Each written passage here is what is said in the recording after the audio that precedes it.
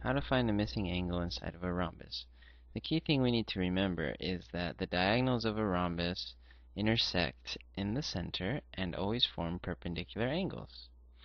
So we know that this, this, this, and this are all 90 degrees.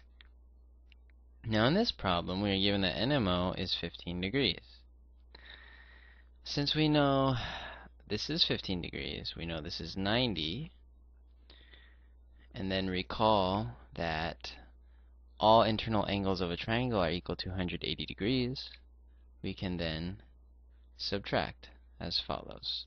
So 180 degrees minus 15 plus 90